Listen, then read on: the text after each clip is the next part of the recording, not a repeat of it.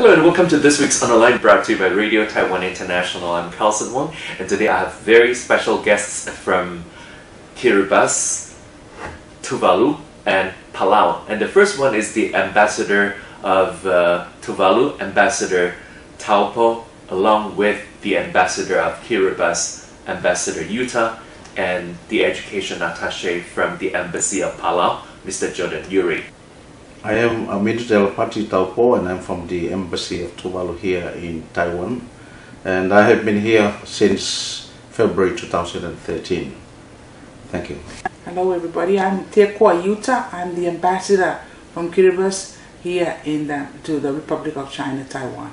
Thank you. Hello, good afternoon everyone. My name is Jordan Yuri. I'm the education attaché to the Embassy of uh, Palau here in Taiwan. I've been here since uh, March this year, 2016. Thank you. Um, first of all, can we talk about the educational exchanges between Taiwan, Tuvalu, Kiribati, and Palau? Can we start with Ambassador uh, Taupo?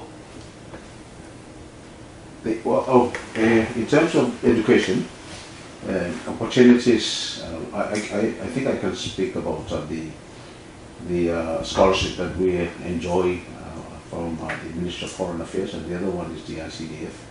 So far, we are having uh, about uh, 35, 36 students, I know. We have about uh, two. Um, Uh, what about Kiribati, Ambassador Iuta? It's very similar to what uh, Tuvalu is, um, the relations between Tuvalu and, and, and Taiwan in terms of education. We have about 50 students currently studying.